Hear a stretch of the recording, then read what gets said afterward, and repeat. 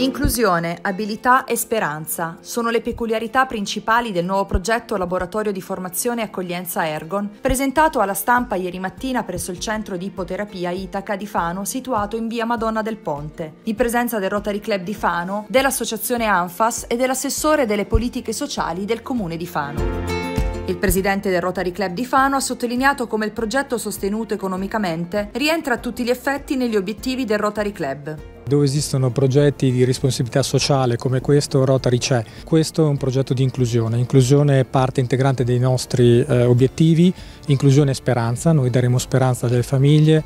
Questa, questa, speranza significa garantire che i propri figli, gli utenti di questo centro, possano avere una dimora, che è questa, dove si riesce in qualche modo a sviluppare quelle che sono in senso positivo le abilità. Queste persone, noi siamo sempre stati abituati a vederli come disabili, che sono un'eccezione negativa, invece noi per noi hanno delle abilità, queste abilità le andiamo a cercare, le andiamo a costruire, le andiamo a far crescere e questa dimora serve a far questo.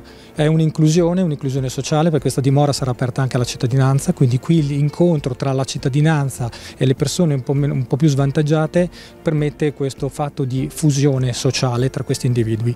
Questa cosa diventa fondamentale perché è un centro nel quale lavorando, eh, potenziando le loro caratteristiche, questi ragazzi possono entrare nel mondo del lavoro e possono sentirsi utili e questo è veramente importante per una collettività come questa.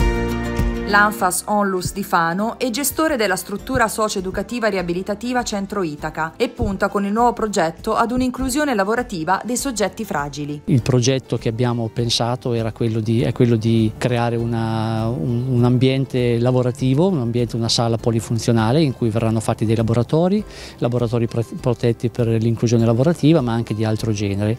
L'idea è quella di dare un'opportunità ulteriore ai ragazzi che frequentano qui Itaca, eh, poter fare eh, eh, intervenire anche altre persone, anche dall'esterno, per aprirlo all'esterno e per aprirlo alla fruibilità da parte di tutti. Insomma è un bene della, della collettività, ci teniamo che il bene eh, possa essere utilizzato da tanti.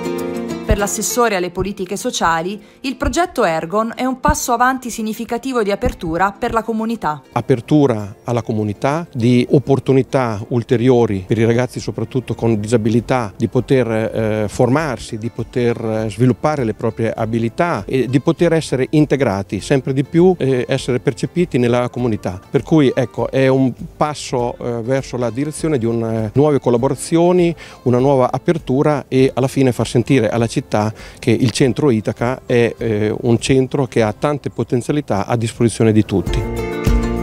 Sarà dedicato a Eleonora Fregulia e al suo dolce sorriso la sala polifunzionale laboratorio polivalente La Dimora, che verrà inaugurata sabato 11 novembre alle 10.30 e per l'occasione sarà offerto un aperitivo alle autorità e a tutta la cittadinanza.